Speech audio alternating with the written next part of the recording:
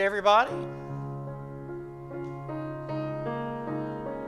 This is a song that you all have heard and sung a couple of times.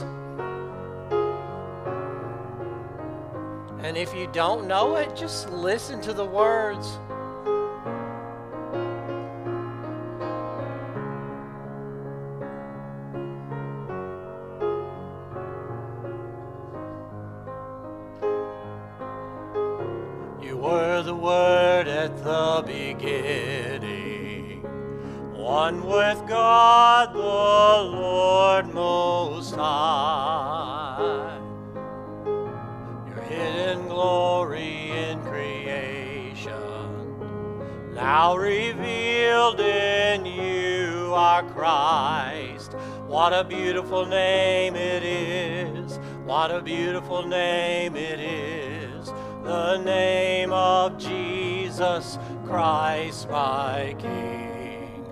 What a beautiful name it is! Nothing compares to this. What a beautiful name it is! The name of Jesus.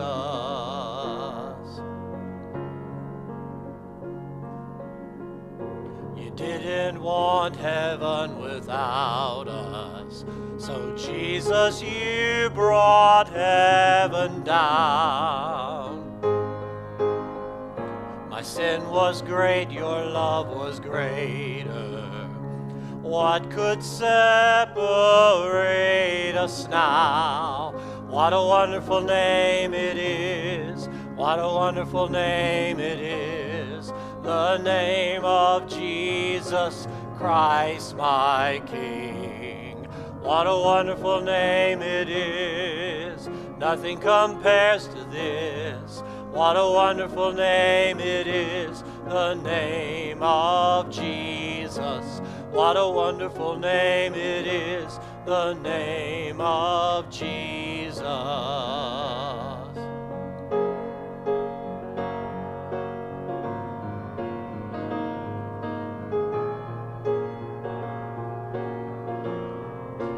Death could not hold you, the veil tore before you. You silence the boast of sin and grave. The heavens are roaring the praise of your glory, for you are raised to life again. You have no rival, you have no equal. Now and forever, God, you reign. Yours is the kingdom, yours is the glory, yours is the name above all names. What a powerful name it is! What a powerful name it is! The name of Jesus Christ our King. What a powerful name it is! Nothing can stand against. What a powerful name it is! The name of Jesus. What a powerful name it is! The name of Jesus.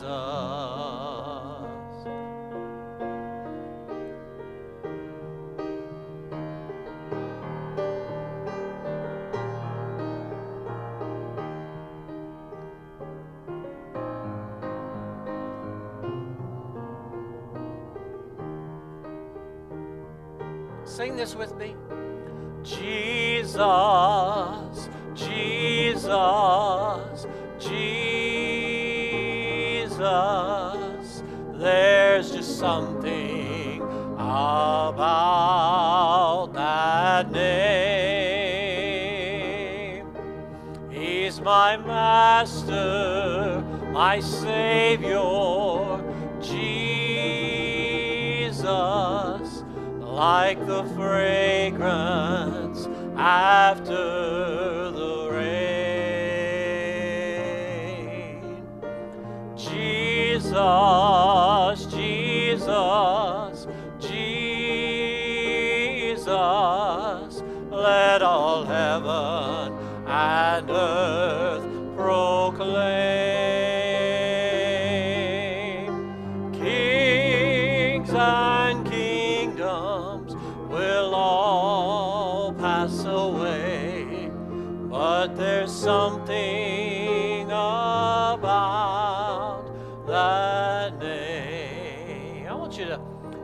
Your eyes, if you would, for a moment. I want you to try to think back, maybe to your childhood, or maybe for you it was an adulthood, but I want you to try to think about the first time somebody actually explained to you who Jesus was. And I want you to think about what it felt like when you started to understand who He was and what He had done for you.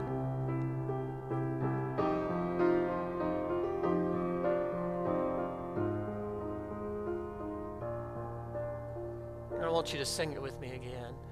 Jesus, Jesus, Jesus. There's just something about that name. He's my master, my Savior, Jesus.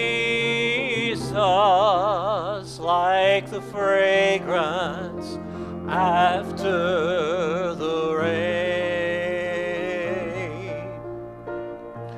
Jesus,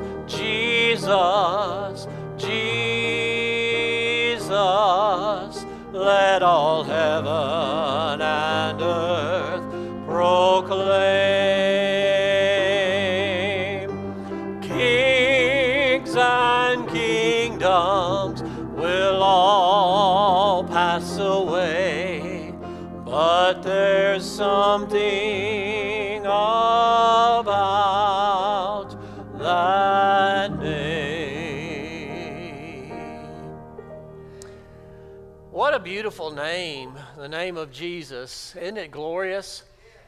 Nathaniel is playing for a cousin's wedding tonight. So Nathaniel and Melanie are all doing the family wedding thing tonight. So keep him in your prayers. Actually, it was, I think, at 5 o'clock, so they should be wrapping all that up by now. But bless his heart, he's going to be tired. And I miss him, Miss Jane. Do you miss him when he's not here? I sure do.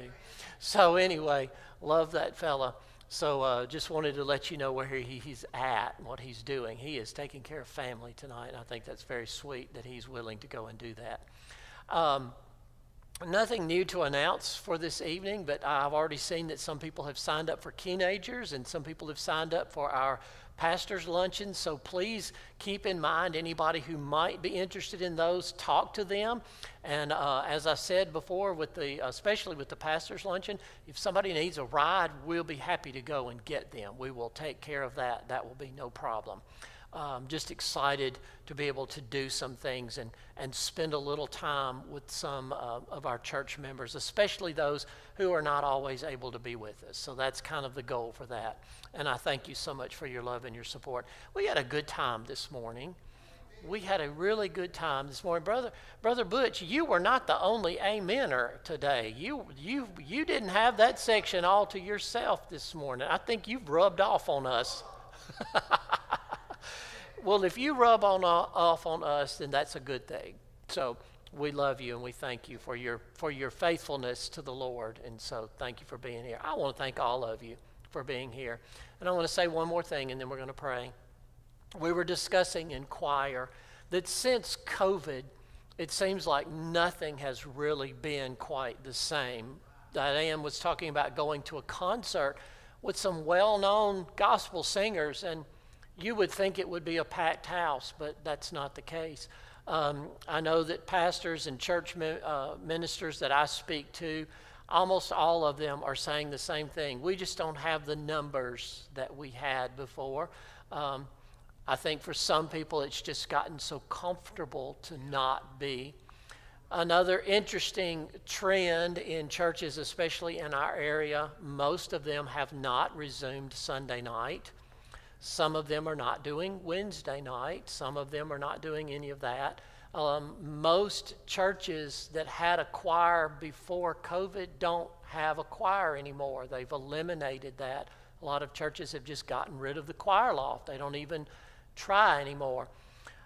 I just want you all to know, as your pastor, as long as I got breath in my body and I'm physically able to be here, I want to keep doing Sunday night. I realize we may not have a huge number of people here, but it is a blessing to just come, especially when we can be relaxed and informal. And you know what?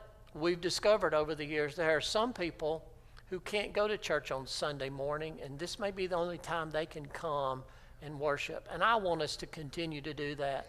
I want you to pray for our choir and for our other things that we're trying to rebuild because I want us to, to get those things uh, not just surviving, but thriving. I want us to thrive. I think that's what God intends for us. Amen. Let's pray about that. Father, we come before you and we thank you that you are so good and you are so faithful. Father, we also come to you recognizing that uh, we live in sort of uncharted waters. Uh, we, we're living through some things that are different and unusual, some things that maybe most of us have never experienced before. Father, churches have suffered, and we realize that. And Lord, we just come before you and we just submit ourselves to you, Lord. We just want to worship. We want to worship Sunday morning and Sunday night and Wednesday night. We want to have the doors open and we want to have times when people can come and they can worship and they can study the Bible and they can fellowship and they can grow closer to you and grow closer to one another. We want to keep doing that, Father, and we just ask that you would bless our efforts in that, Lord. And tonight, as we talk about Christ, I pray that you would open our eyes and our ears, and Father, open up our minds and teach us some things that maybe we never knew about Jesus. And we want to surrender all that to you in His name, and amen. This is, I'm going to let y'all stay seated. Y'all can just relax. Okay. This is one of my favorites.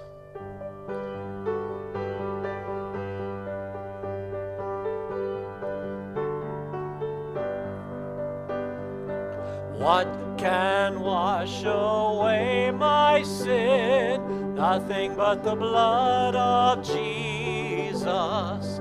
What can make me whole again? Nothing but the blood of Jesus. Oh, precious is the flow that makes me white as snow. No nothing but the blood of Jesus. This is all my hope and peace, nothing but the blood of Jesus. This is all my righteousness, nothing but the blood of Jesus. Oh, precious is the flow that makes me white as snow. No other fount I know, nothing but the blood of Jesus.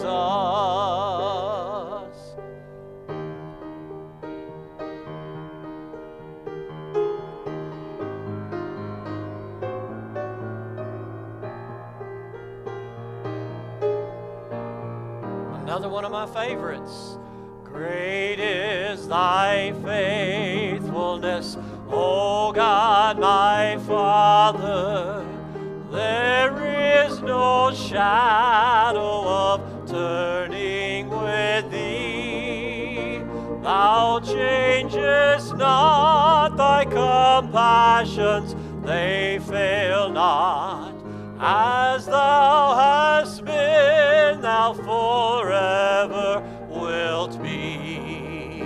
Great is thy faithfulness, great is thy faithfulness. Morning by morning, new mercies I see. All I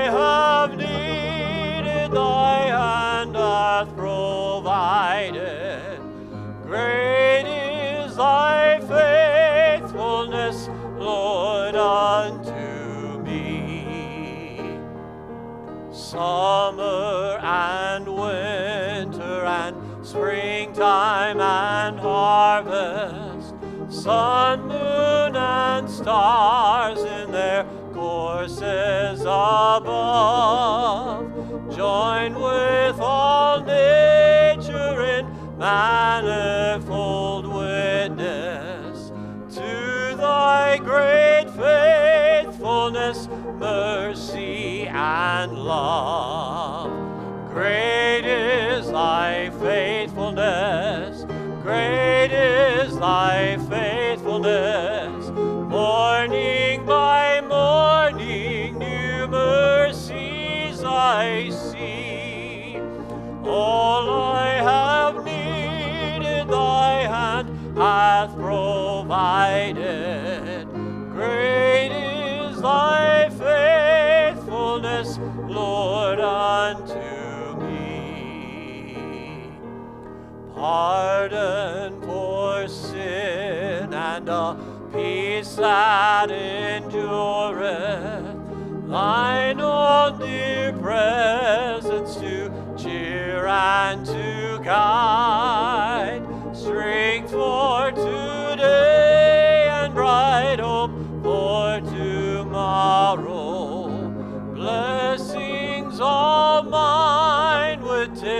Thousand beside.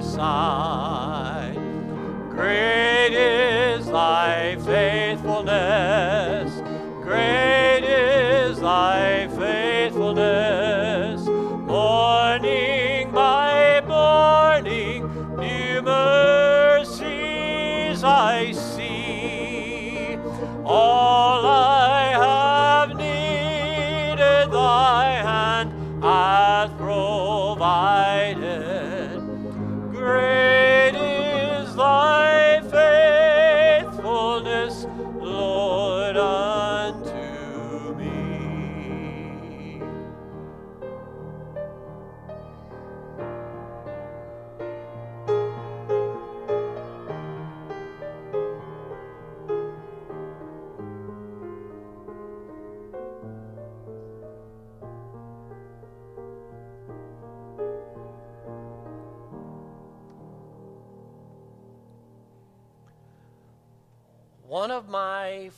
Favorite all time hymns, written by Thomas Chisholm, Great is Thy Faithfulness. That's one of those that I find myself singing when I'm all by myself, or I think I'm all by myself, and I have things on my mind, or maybe I'm feeling a little bit down. That's one of those I find myself singing. We all have those songs that come to us. Well, that one is one of mine. And then the other one is Come Thou Fount. That is another one that pops in my head. Um, James, wave at everybody. I know they know you. I did not know you before this morning. Mr. Howard told me that he had some family coming. Well, I didn't think anybody else would know them because I've known Mr. Howard for several years. And then I, I meet this gentleman, and everybody's coming up and hugging on him and everything. I was like, oh, well, you know everybody better than I do. It's just good to have you back, brother. So, what a blessing. He's got a great smile on him. He's a nice guy, a nice, beautiful family, by the way. So, I've enjoyed getting to know you better. Um, I'm, a, I'm a big fan of Mr. Howard, so uh, I love that man. Um, we're looking in Hebrews chapter 1, Hebrews chapter 1, and if you are not familiar with it, because it sounds Old Testament, but it's not, it's New Testament. So you're probably a little more than three fourths of the way from the front of the Bible, or maybe almost a quarter from the back of the Bible, uh, depending on how thick your concordance is. But Hebrews chapter 1, we don't know who wrote Hebrews. Um, some people claim with absolute authority that Paul wrote it, but we don't know that because it's not attributed to Paul. And some people much smarter than I who do textual criticism have taken the book of Hebrews and broken it down, and they can tell you that in these sections it does sort of look like the syntax and the things that Paul writes, and then there's some things over here that don't at all, and then there's some things that kind of sound like Luke. Some people have said maybe it was Barnabas, uh, lots of different people, but the point is we don't know. But Hebrews is a beautiful, beautiful book, and we're going to go through the book of Hebrews on Sunday nights, and we're going to start in chapter 1. Um, somebody else pointed out that Hebrews has a structure a literary structure that is unique to the New Testament, and you're probably thinking, well, what a blessing to know that. But it is unique, and that is maybe one of the reasons that God did not allow us to know who wrote it because of the uniqueness of it. Um, but uh, I, I, wrote this down because somebody smarter than me said this. It begins like an essay, it continues as a sermon, and it ends like a letter. So it's all of those things in one. And that is one of the reasons that it is quite difficult to pinpoint it down to who may have written it. But we're going to be looking at Hebrews chapter 1, and I titled this Christ and the Angels. Primarily, it is about Jesus Christ himself, but he does talk a lot about the angels. And so, begin with me in verse 1. It says, In the past, God spoke to our forefathers through the prophets at many times and in various ways. But in these last days, he has spoken to us by his Son, whom he appointed heir of all things, and through whom he made the universe. We'll stop right there and let's unpack the first part of uh, verse 1 and part of verse 2. As you know, the Old Testament was written over the course of many, many years.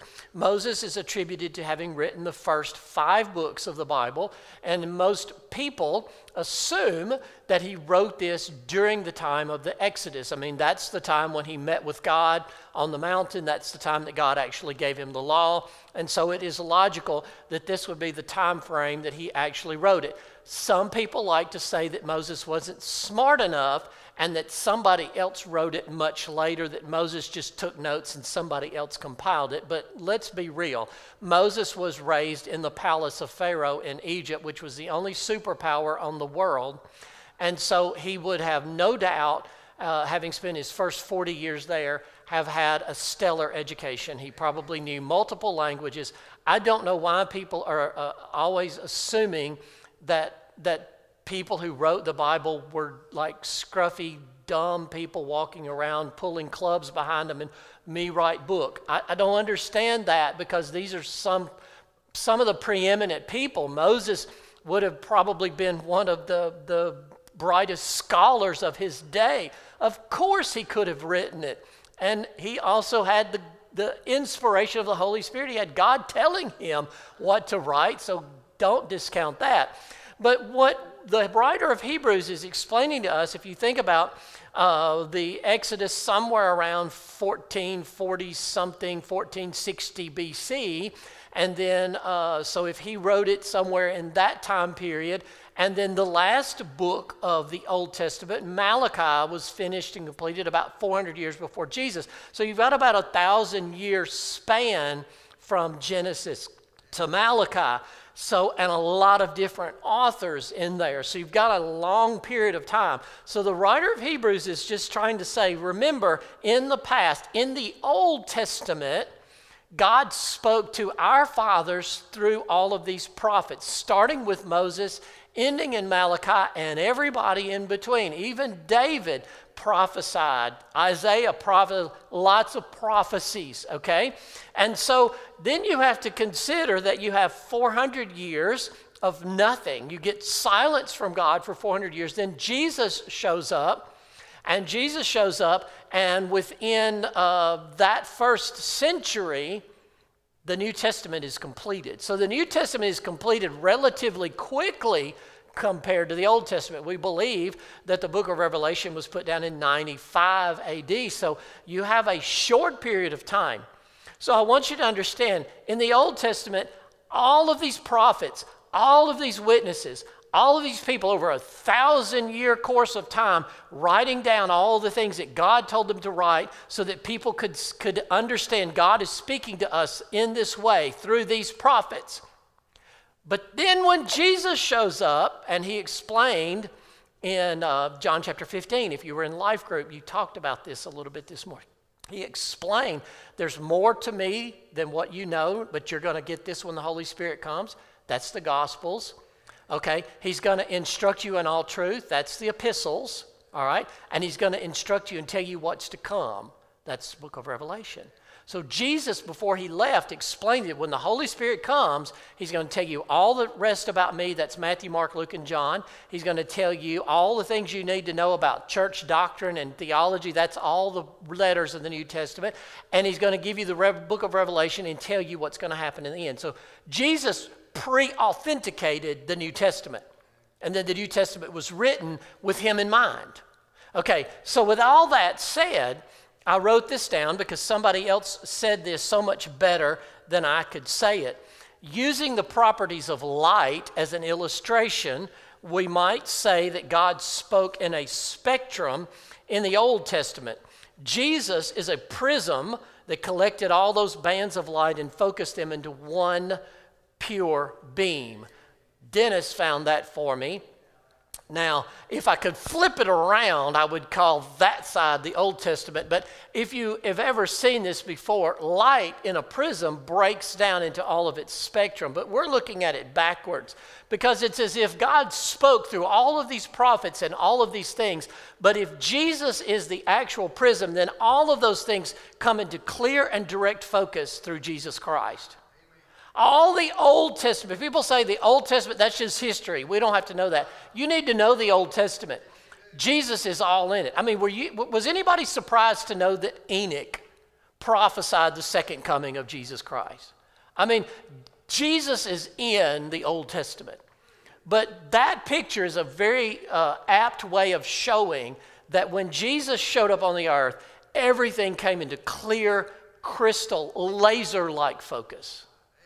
You hear politicians sometimes say, we're going we're gonna focus on this like a laser, and then usually they make it worse. I'm sorry, I'm not trying to be ugly, but when the government gets involved, it probably costs more, takes longer. It's just that way. When Jesus gets involved, it gets better, it gets crystal clear. When Jesus comes into play, all the Old Testament prophecies, they come together. Now they make sense. Now everything is clear and then the New Testament. Whew, boy, that's good. So, he says this In these last days, he has spoken to us by his Son. That's what he's telling you. He's talking to us now through Jesus. Well, what did Jesus say? Well, there is a sevenfold description of Jesus in these verses. It says in the second part of verse 2 that he has been appointed heir of all things. He is the heir of all things. What did Jesus say? Everything, all authority on heaven and earth has been granted to me. Okay? So he's, he is the heir of all of these things. It says, and through whom he made the universe. So he created everything. John tells us that all things were created by him, through him, and for him. Everything was created for Jesus. Even Satan, before he fell, was an angel. He was created for Jesus. That's kind of sad to think about, okay? But then he spent all of the uh, eternity since then trying to destroy Jesus to prevent Jesus from ever showing up. But he was made to serve Jesus Christ. We were. Everything was made for Jesus. But then he says this here's the third thing that the Son is the radiance of God's glory. Ah, what does that mean? When you think about the glory of God, what do you know about the Old Testament? Could anybody just walk up into the face of God if he appeared? No, better not.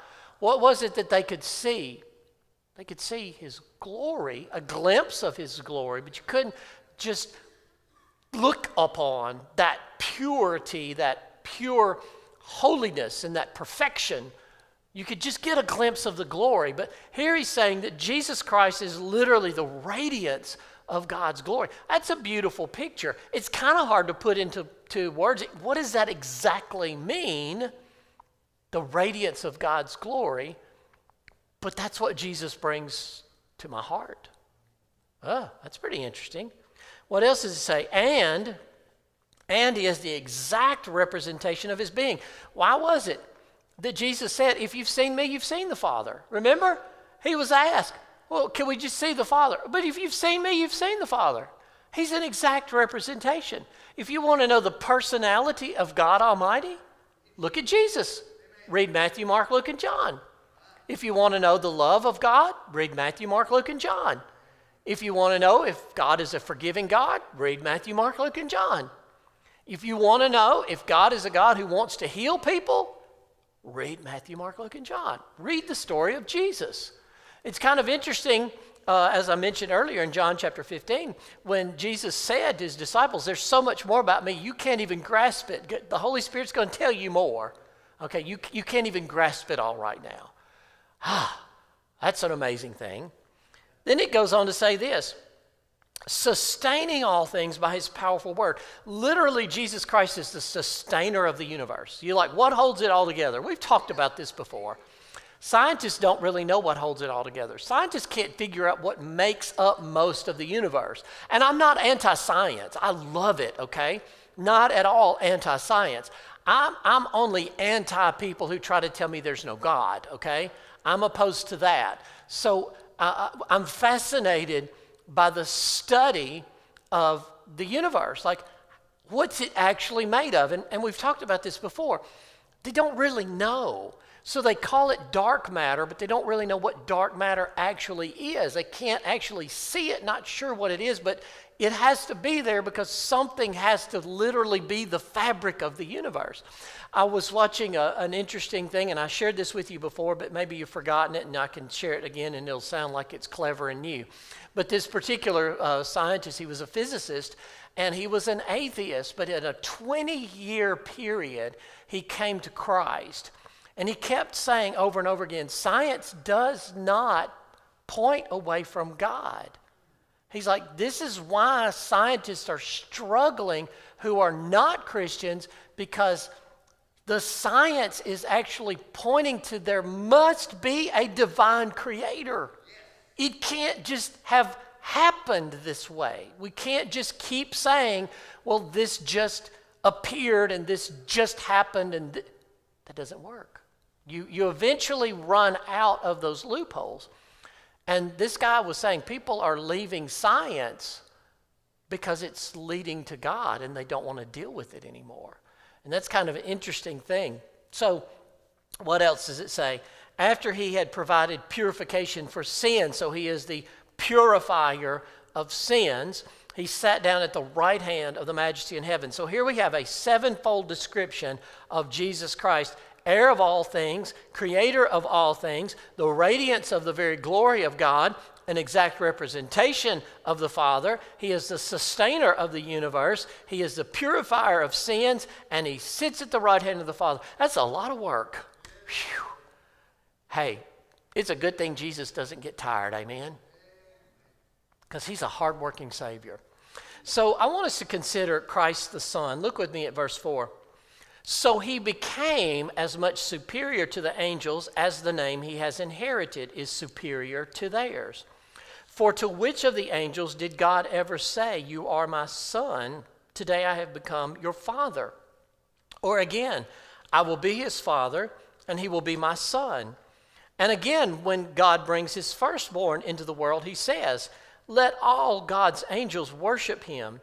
In speaking of the angels, he says, he makes his angels winds, his servants flames of fire. So he is explaining to you that Jesus Christ is far superior to the angels. Now, there's a couple of things we have to unpack here. Um, when, when you read this and you're like, when did God say, You are my son, today I have become your father? Well, actually, that comes from one of the Psalms. And so that's one of those things that was prophetic about this. According to the scripture, and, and keep this in mind, I'm, I'm going to try to say this and make it as, as clear as, as I can. Jesus Christ, and I've shared this with you before, when, when I was a child, I thought, well, Jesus Christ left heaven, came down here, saved me of my sins, went back to heaven, and everything went back like it was before. Right? That's not actually right. Because Jesus Christ came down here and took on human flesh. Okay? So he's still fully God, but he's also taken on human flesh. He's taken on a physical body like mine. I'm going to guess that it was a lot sturdier and stronger than mine because I don't think I could take the punishment that Jesus took and still hang on the cross for that many hours. I don't think I could have. He had to have been a very robust man, okay? A very strong man. Not only strong of will, but physically a strong man. But the literal fact that God Almighty was willing to condescend, and I mean that in a good way, humble himself to actually take on human flesh. Um, how many of you have a pet, a dog or a cat, and you love it? Would you be willing for your dog or your cat's sake to become a dog? Why not? You wouldn't be willing to, to take on a, a, a, a let's say, what, what kind of dog would you be, Miss Jackie? you have a grand dog, but I'm just going to say you would be some kind of a really sweet little doggy if you were a dog. But I, am being silly here, but I'm saying try to imagine if you can. God Almighty, who's all of those things we just said, is willing to change himself permanently for you and me to take on this we look at ourselves and we think we're the pinnacle of God's creation, and we are, okay? But compared to God, we're like a, a, a little schnauzer dog or something. Like I would not want to be trapped in that forever. Am I making sense or am I just sounding really goofy? I'm sometimes goofy and it's okay. But if it gets the point across, this is why the scripture often talks about this transition. When God is saying, You have become my son, He is saying, You have become something different now. You have left heaven and you have left the glory of heaven continually fully God, but you've taken on human flesh and have become a child. Stop and think about that. And when he went back to heaven, he took his human body with him. Kind of interesting. So when you read all these things and you read, you know, what does it mean that he has inherited this or he's been given a new name? He's been given it's because he allowed himself, he willingly changed himself permanently forever for you and me. Now that's going to get my attention, okay? I'm going to want to know something. I got one other thing I got to hit really quickly. This morning we did not really have time to cover this, but if you would, hold your place there in Hebrews and go back with me really, really quickly to Genesis chapter 6. There's something here that we kind of skipped over because I didn't really have time to cover this, but I feel like it bears repeating because it's, uh, there's a lot of people teaching on this. Genesis chapter 6, verses 1 and 2 says this. When men began to increase in number on the earth and daughters were born to them, the sons of God saw that the daughters of men were beautiful and they married any of them they chose. Now, you've probably heard this and read this before. Some people have speculated based on different interpretations and different things that, are, uh, that show up in the Old Testament that the sons of God were actually fallen angels and that they went and they intermarried with human women and created these massive things. Okay, a lot of people teach that, um, and a lot of people believe that. And it sounds kind of an interesting thing. I don't personally think that that is what happened, and the main reason I don't think that is because angels are spiritual beings, they don't have physical bodies. Okay, God actually talks about the angels. He's, you know, when he answered the question about whose wife will this one be, he's like, you don't understand They'll be like the angels when you get to heaven. They're not given in marriage, okay? Angels can manifest themselves as different things, but the reason they can do that is because they don't have a physical body. They're not trapped in a physical body. I can put on a costume and try to look like something else, but I can't actually manifest myself as something else because I'm trapped in this physical body. So I do not particularly hold to the idea that somehow fallen angels procreated with God's children, and then we had this race of humans that had to be destroyed. I just I don't see that. What I think God is telling us is that the Cainite line, okay, those were the, the men of the earth. The sons of God were the Sethites, the Seth line, because they were the godly people. And if you look at the line of Noah, Noah's people came from Seth, and only righteous people you find are from Seth's line. And you look at Cain's line, and like they just turned into murderers and so on and so forth. So you seem to have, right before the flood, almost like two different groups of humanity. You've got these few, this remnant of godly people, and remember, God always has a remnant. And then you have all of these Canaanite descendants who just seem to be pretty disgusting people. That's the way I see it. But I had to discuss that because I know it's going to come up if you do a lot of Bible study or whatever, or if you're like me and you like to read and study these things. So continue with me, if you would, in Hebrews chapter 1, and that is Christ the Son. Now let's look at Christ the King. Look with me at verse 8. But about the Son, he says, Your throne, O God, will last forever and ever, and righteousness will be the scepter of your kingdom. You have loved righteousness and hated wickedness. Therefore, God, your God, has set you above your companions by anointing you with the oil of joy. What a treasure. I have to share this with you. I have been uh, recently reading um, a new book about the coming third temple. And it's kind of interesting. If you know, underneath the Temple Mount there in Jerusalem, there are caves and caverns and underground structures that go all the way back to the time of Solomon. And if you think about it, when they had um, large uh, events and they had lots of sacrificed animals, they had to keep these somewhere and they didn't parade them around in the courts. They did all this underground. Solomon had stables and barns and all these things carved out underground. And to this day, there are so many unknown caverns, and it's difficult to apparently to get permission to go into them and to study them or whatever. But one of the things that they have found is a little vial of anointing oil. And you say, what difference does that make? I, I thought about it when I read this, when it says that Jesus has been anointed with the oil. Okay. One of the things in preparation for the third temple, and they're ready to build that thing because they believe it's time for Messiah to show up, okay? We know he's already been here, but they think it's time for him to show up.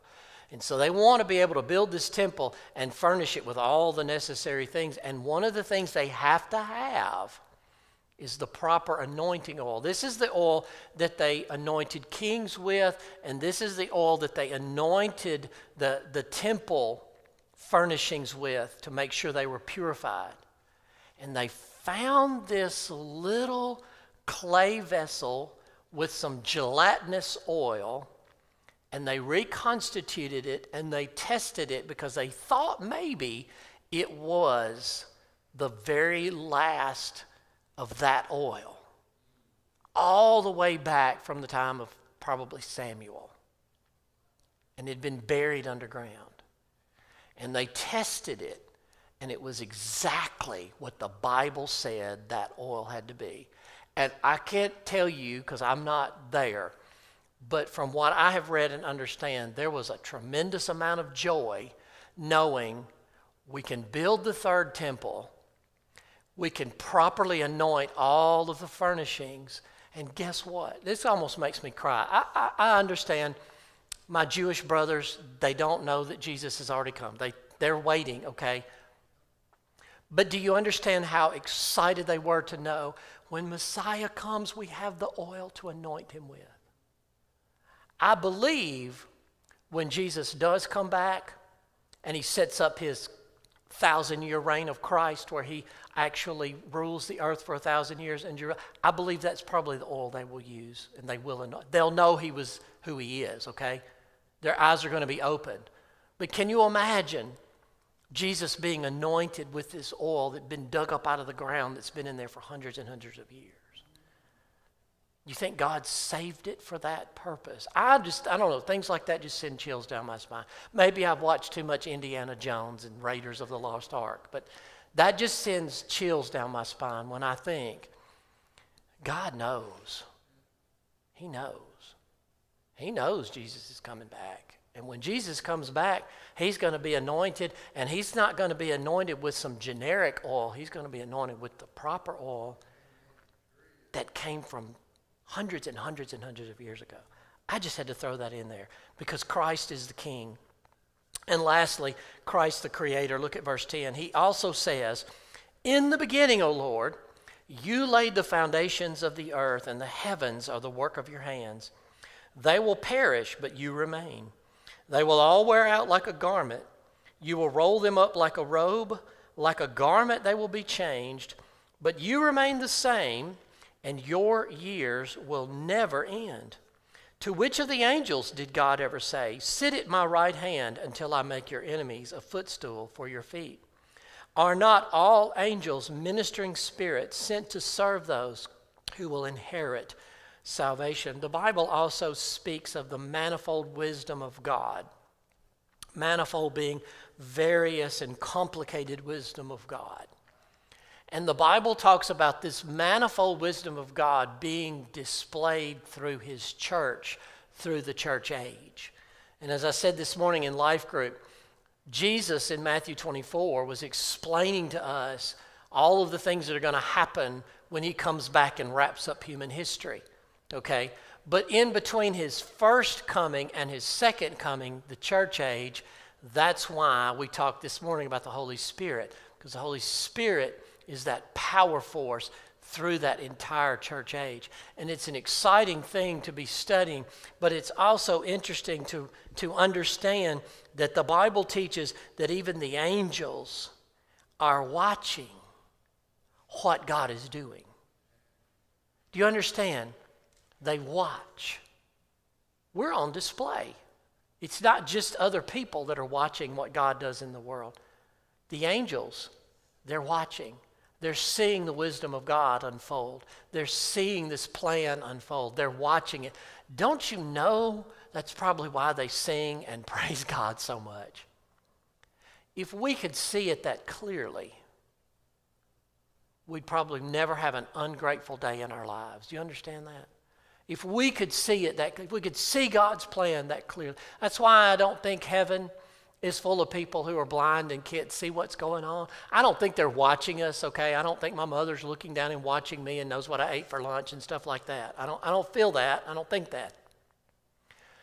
But I also don't think that when you get to heaven that God like erases your memory and you have no you don't know anything. I think you just understand everything that's happening down here so much more clearly that you can say, "Oh, praise God, you've got this, you really have this under control."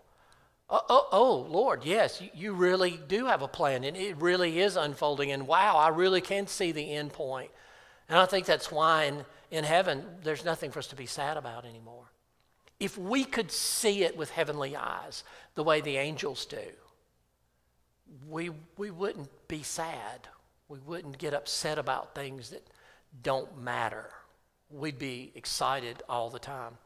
Um, if you would, I want you to pray with me, and I'm going to ask if you would stand. And we're going to do a little bit different tonight, but me and Miss Jane are just going to play a little bit of Just As I Am. And if you want to come and pray at the altar, the altar is open. If you want to come and talk to me, just come pull me away from the piano. But I'd like for you to just stand and pray with me for just a moment. Our Father, we thank you so much for Jesus Christ. We thank you that He is such a glorious, glorious God. Savior, Sustainer, Creator. Wow, I mean, there just aren't words enough, Lord, to describe what has been given to us. And so, Father, we just want to say thank you. And we thank you, Lord, that you are so good that you accept us as we are. And so, Father, we just come before you tonight to just uh, take a moment to just reflect and to just speak. And so, Lord, we ask that you would speak to us, convict us, call us to prayer, show us what you want us to do and how you want us to do it. In Jesus' name we pray. Amen.